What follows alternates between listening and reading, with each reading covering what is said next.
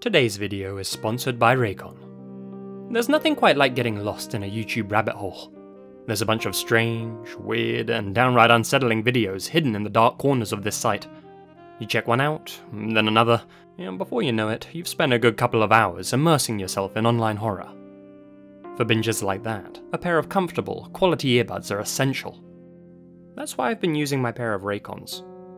Raycon is disrupting the electronics industry by making great sound for everyone. Their wireless earbuds start at about half the price of other premium audio brands, and sound just as amazing as any other top audio products on the market. From Snoop Dogg to Mike Tyson, Raycon have become the obsession of countless celebrities, and it's easier to see why, what with their 6 hours of playtime and seamless Bluetooth pairing. Their everyday wireless earbuds come in a range of fun colours and patterns, with a variety of fit options to choose from. Head over to buyraycon.com forward slash masquerade and you'll get 15% off your Raycon purchase. With Raycon's 45 day free return policy, you've really got nothing to lose. So again, that's buyraycon.com forward slash masquerade, or simply click the link in the description below and be a part of the next wave of premium wireless audio. Have you ever found yourself staying up way too late at night, going from one YouTube video to another, telling yourself that beautiful lie of, oh, just one more, then I'll go to bed? Yeah, we've all been there, some of us more times than others. But there are some videos on the site which make it a little difficult to go to sleep. Nestled in amongst all those commentary channels, Let's Plays, and Gordon Ramsay compilations are some truly strange and, frankly, dark uploads. Some of them are sinister by design, some of them by circumstance, but if you click around on the site long enough, you're bound to stumble into a few. Today we examine four items from that weird side of YouTube, which just might make you want to turn off your devices and go for a long walk outside.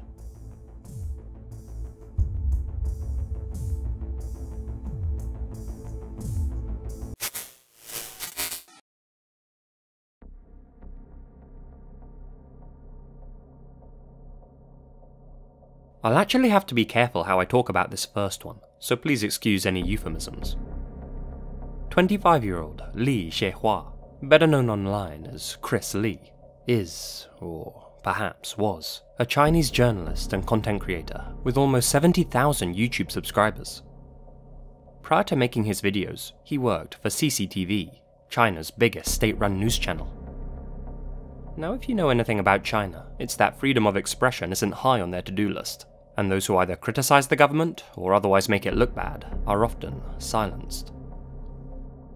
When Chris became disillusioned by the amount of censorship going on at CCTV, he of course decided to quit, and instead began filming his own informative videos, this time documenting the truth and giving his own honest opinions. If you head over to Chris's channel, you'll see that he only has 7 videos.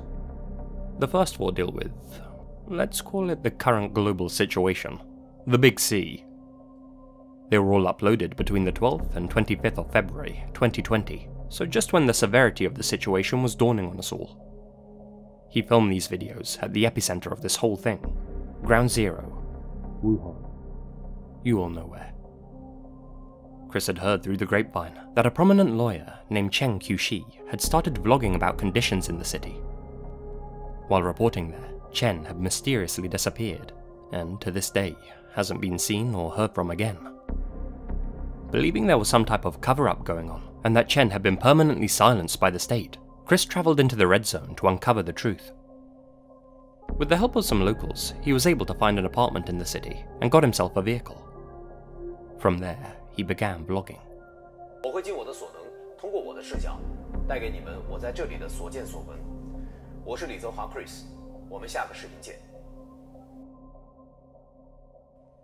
Chris took his camera to the streets conducting interviews, visiting hospitals, and exposing the failures of his government to the entire world and showing how they were intentionally concealing what was going on there.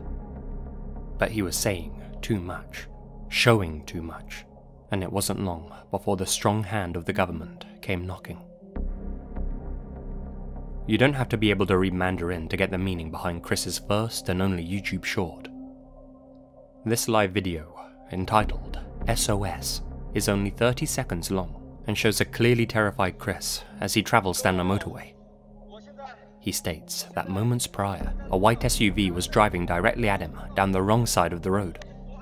Apparently, it suddenly swerved in front of his vehicle in an attempt to block his path, and the men inside told him to surrender.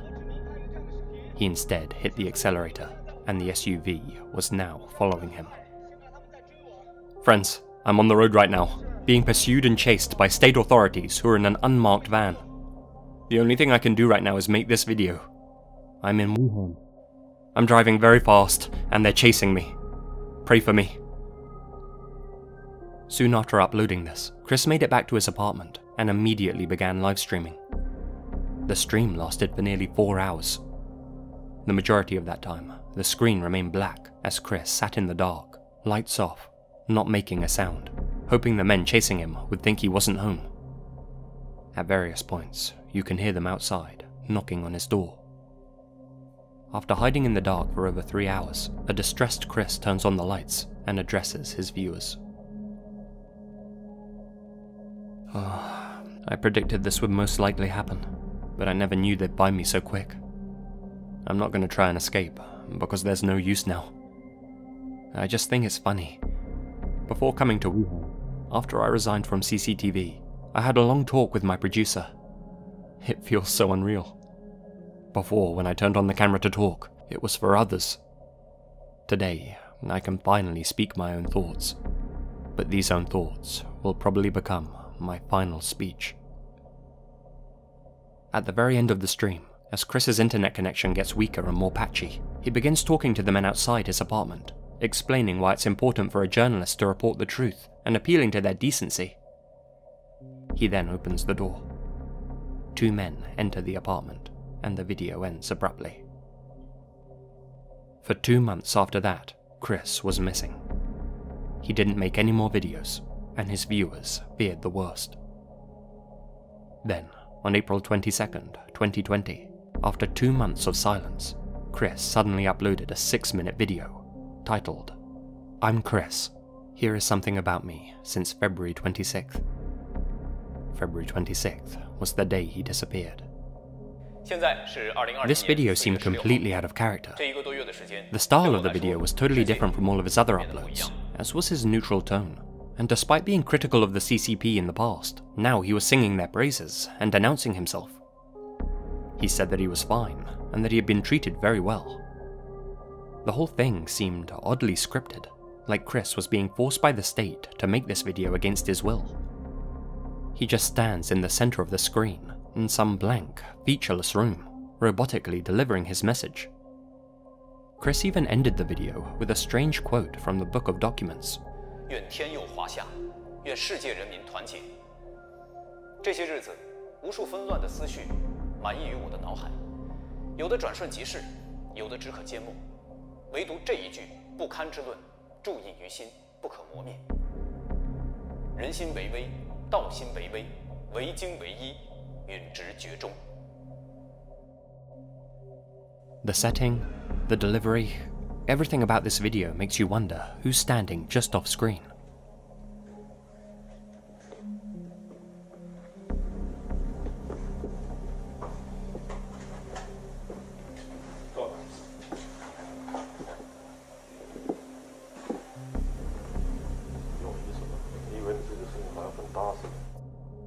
Since that final video, Chris hasn't uploaded any new content and hasn't made any posts on his social media accounts either. He simply vanished from the internet. With China's dodgy human rights track record, many have become concerned for Chris's safety and well being, myself included. Many suspect he's been placed in a re education camp. Others fear something even worse might have happened to him. But what Chris did was incredibly important. He exposed the truth about the global situation at a time when true reports out of China were hard to come by. He was brave enough to speak out, and I fear he may have paid dearly for that. こんにちは。バーチャル YouTuber のヌグムです。尼崎に住んでます。 ばよう。生き地がすすりたいでの、お前のすぐ後ろにいるんじゃ。If you're into creepy visuals, there's this weird Japanese YouTube channel known as Nugumu. The actual name, which looks like this, is pronounced Wow. This eerie doll figure, who introduces himself as the virtual YouTuber Nugumu, features in nearly every upload, and with the channel having amassed nearly 55,000 subscribers at the time of writing, it's safe to say he definitely caught people's attention, even outside of Japan. In each upload, Nugumu says some pretty unsettling things. How he wants his viewers to send him their eyeballs, how he's standing right behind you, how we're all just meat, things of that nature. All the while, ominous music plays in the background. 追いかけるのは私です。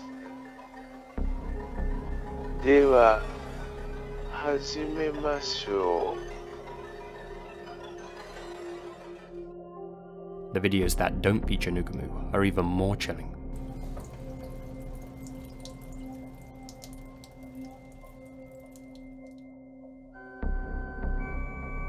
こ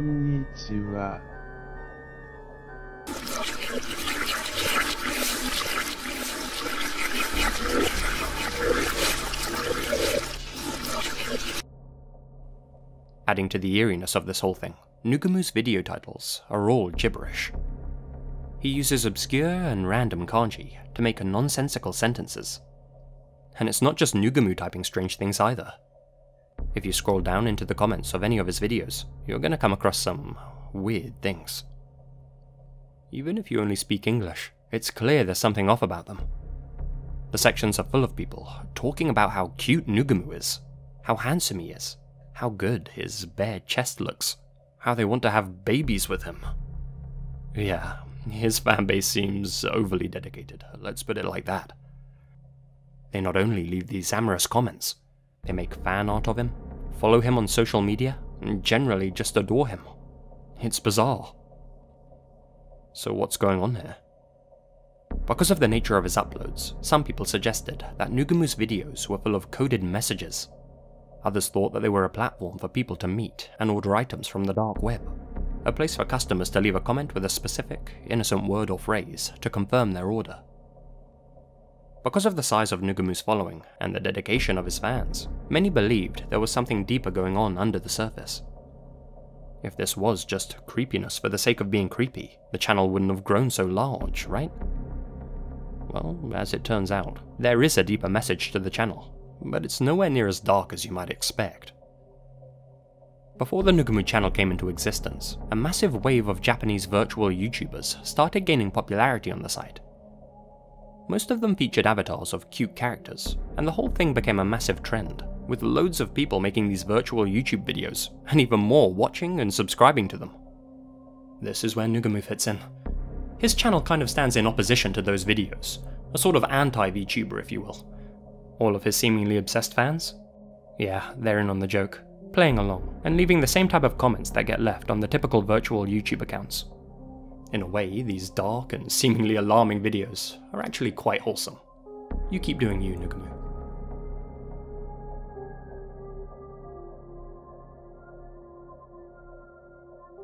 So this next entry actually comes from a Facebook post. A post about a YouTube ad.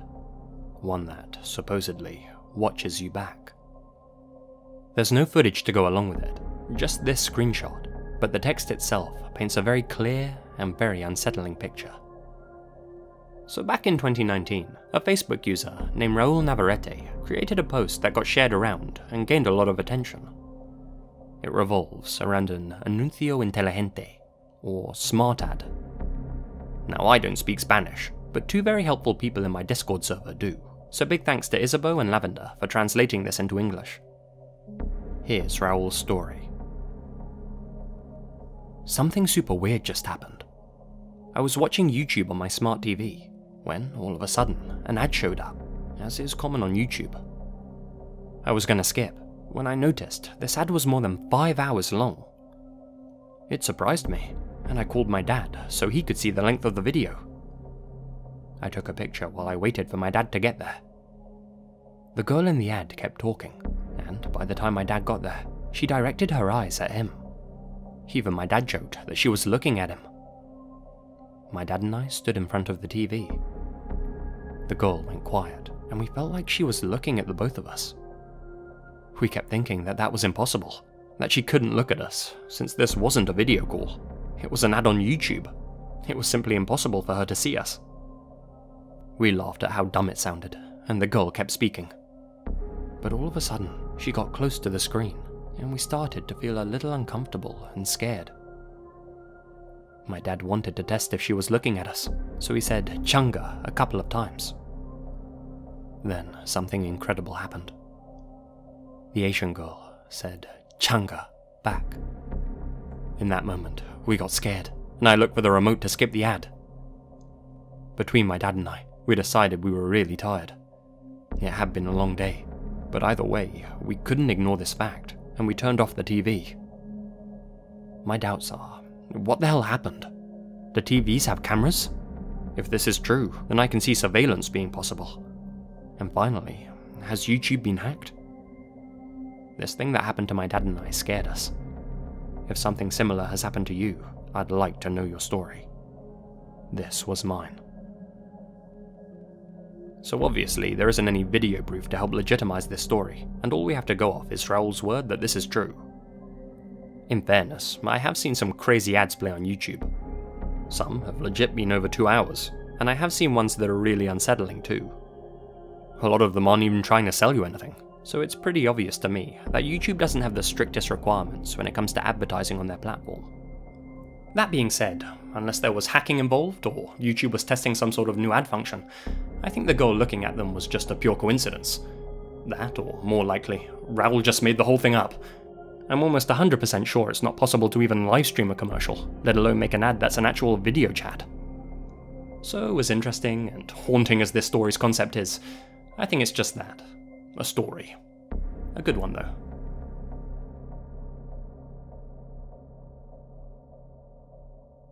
Maura Murray was a 21 year old nursing student at the University of Massachusetts, Amherst. On February 9, 2004, she disappeared from the face of the earth after getting into a car accident on Route 112. The events leading up to her vanishing are both cryptic and suspicious to say the least, and transform this from an ordinary missing persons case to a truly intriguing, albeit bone chilling, mystery. Just before leaving her university campus that fateful afternoon, Maura emailed her professors, informing them that she was taking a week off school due to a loss in the family. That was a lie. Nobody in Maura's family had passed on. This got people thinking that maybe Maura was running from something. Or someone. Even before that day, Maura had been acting unusually. Three months before she went missing, Maura had been caught using a stolen credit card to pay for meals at restaurants. Four days prior to vanishing, a university supervisor noticed that Maura had broken down in tears. When they approached her, they said that Maura was just completely zoned out, no reaction at all, totally unresponsive. Two days prior, Maura accidentally smashed her father's car into a guardrail after possibly consuming a few drinks. A few hours before the incident, Maura withdrew $280 from an ATM for unknown reasons. Sometime between 4 and 5 pm on the day of her disappearance, she set off in her car. She made no calls to tell anyone about her planned destination. It was sometime after 7 pm that Maura crashed her vehicle into a snowbank. The authorities arrived at the scene. Her car's windshield was cracked, the airbags were deployed, but there was no sign of Maura Murray anywhere. Expensive items, such as diamond jewelry, were found inside the car, along with empty bottles, Maura's AAA card, and a book called Not Without Peril A Guide to Climbing in the White Mountains. Since that collision, Maura's whereabouts and well being remain unknown. She simply disappeared from the face of the earth, never to be seen or heard from again. Some believe personal problems got the better of her, and she went missing on her own accord. Others believe that something more nefarious happened to her, that she was chased down by some obsessive stalker, or that she caught a ride with the wrong guy. For the longest time, there were no developments in the case. Then, exactly eight years after Maura vanished, this video, titled Happy Anniversary, was uploaded to YouTube.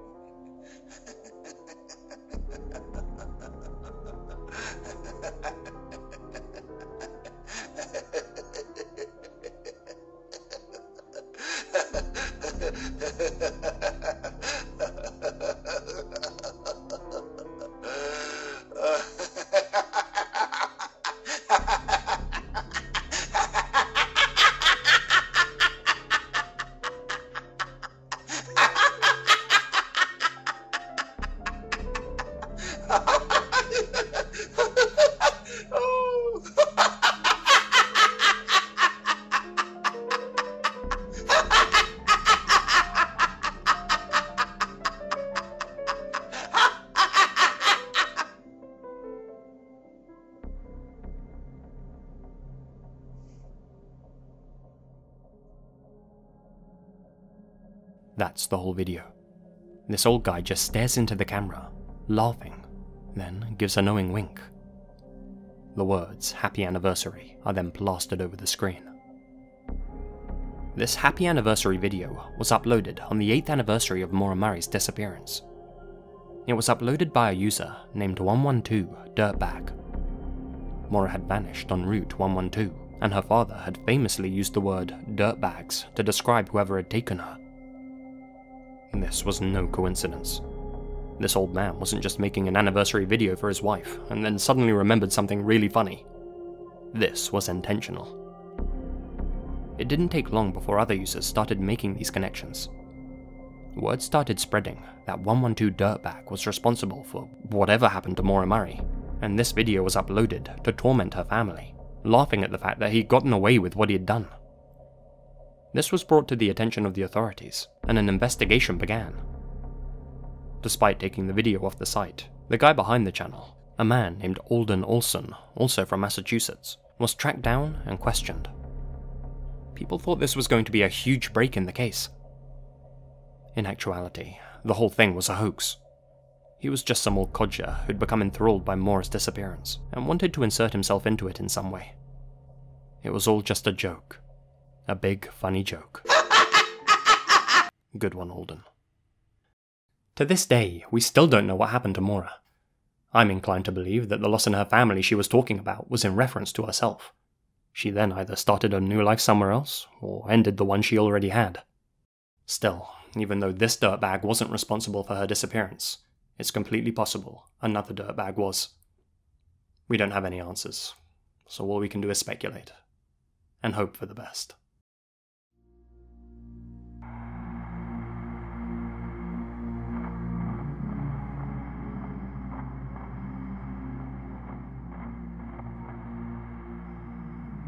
Thank you very much for listening. A big thank you to everyone who supports me here on YouTube and over on Patreon, especially my biggest supporters. Phantom Knight, Hamish K, Yoshi6500, Lydia Glassley, Boise McSnatchy, Amanda Hanson, Jeff the Killer, Tom Brady is based, Alex Greensall, Alan Eyre, Azrael Warakai, Charlie Lackey, Connor Lothan, Crawford K. MacDonald, Expand On, Gina Valera, Grace Archie, Infamous Sempapi, Joshua Perez, Leonardo Martinez, Lord 210, Lucas Maniac, Myra Lancaster, Monica Mendoza, Native Beauty, Peter Logjurech, Philip Westra, Procupidine Natter, Ronnie Franklin, Sarah Ramirez, Sean M. Brenner, Silas Geist, Sloane Crawford, Mrs. Yvonne Rankin, Taylor and Monica Gruenk, The Only Dorita, and Ms. Crypto. Thank you guys so much for your continued support. For everyone else, remember to smash that like button or I'll smash you, and you'll be hearing from me again very soon. Stay spooky, and remember, the best things happen in the dark.